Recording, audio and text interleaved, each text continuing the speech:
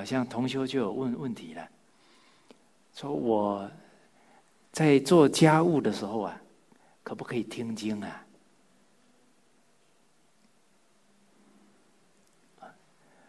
那我不能回答可以不可以啊？哦，我要怎么回答？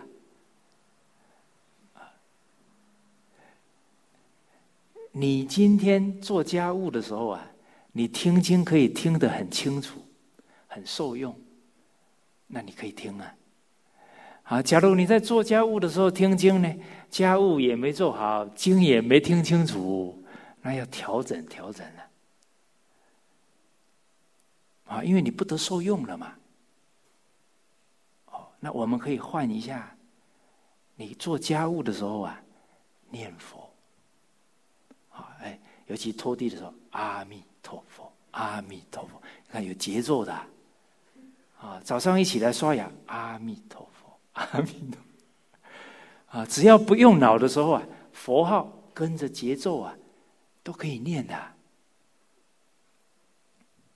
所以我们呢，修行啊，这一句“师父领进门”，修行靠个人，很有道理的。我们不能依赖老和尚啊，尤其要自己去领悟啊。啊，你看修行成就的人，感谢他的老师啊，没有给他。说破啊，点到为止啊，让他自己好好去领悟啊。可是我们学习的习惯呢，你赶快告诉我吧，全告诉我吧。我们我们的习惯是什么？学知识。我自己呀，开始学佛好多年了，这个惯性转不过来啊，都是灌输性的学习。哇，喜欢抄笔记啊，抄好多本啊，抄完之后一本也没看过，啊，不抄好像心里不踏实，啊，哦，所以你看老和尚去跟李老学啊，你就专注听，不用抄笔记。那可能我这么一讲完了，有人要生烦恼了。哎呀，我不抄笔记呀，好像听完啥都想不起来了。啊，假如你抄笔记还会看，还会有受用，那你就抄吧。好，法没有定法哦。但是，假如我们真的抄了以后从来没看过，那不如专心听吧。哦，我什么都没说。大家也什么都没听，哎，这个佛门这些话很有味道了。说而无说，听而无听。好，我假如说而有说啊，我下去之后就会盯着某个人，嗯，你有没有照我说的做？啊，人家没有照做了，我就生烦恼了。我要说而无说。哎，我们当当老师的，假如说而有说哈。每天就变警察了。嗯嗯，我昨天才讲呢。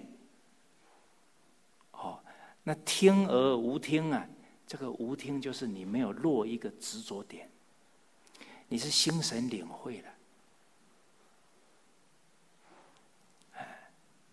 哦，所以有一个故事说了，啊，传说这个张三丰啊，啊，要传给张无忌太极拳。啊，你无忌啊，注意看啊啊！他就把太极拳打了一遍，打完之后问张无忌记得多少？他说：“师公啊，记得七八成。”好，再看一遍。啊，他又打了第二遍呢，又问张无忌说：“师公啊，只记得三四成。”好，再看第三遍，打打打，打到一半，张无忌说：“师公，我全忘了。”张三丰说：“好，就是这样。”不是记外在的什么招数。你记那个招数死的，你记了招数就在那里硬套公式啊！你领会的是什么原理原则啊？万变不离其宗啊！这样才能活学活用啊！所以十年姻缘里面呢，老和尚和盘托出啊，他怎么跟李炳南老师学的？老和尚说：“这没法教的，老师讲一句，你会一句，死的，不能变化。你得长期跟随老师。”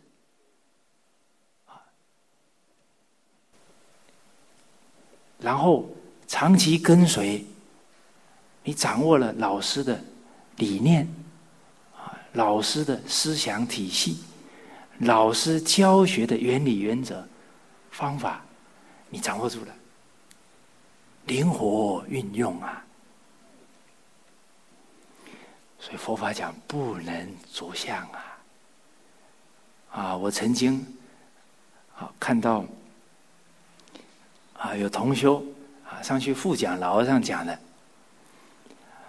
他才三十岁左右啊，结果他讲的语调呢跟老和尚一样啊。老和尚那时候都八十岁了，一个三十岁的人讲话跟八十岁一样，哎，连表情他也做的跟老和尚一样啊。哦，我看的鸡皮疙瘩都起来了。所以我们这个着相也是一种习惯啊，哎，哦，我们要学老和尚，三不管，你得有老和尚的福报，呃，老和尚有韩馆长护持啊，那他有护法。今天你已经有执事了，我说我学三不管，那还得了啊？世间人看到我们不负责任啊！你有那个名，你就要尽那个责任啊，不然叫失职啊！哦，所以我很怕挂名啊。你挂了名，你没有尽那个责任，你要负因果责任的。哦，所以我判不了啊，虚名太多了。挂上去，你你不尽职不行啊！啊，我在汉学院三个班的班主任了，你你挂了班主任，你不关心同学，你失职了。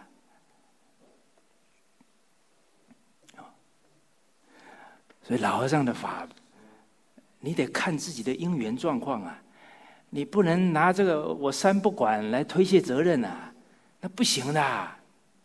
那我们表的话，连世间没学佛的人，他都不可能认同我们。世间人，他当爸爸，他有责任呢；他当领导，他有责任呢。他怎么可以不管呢？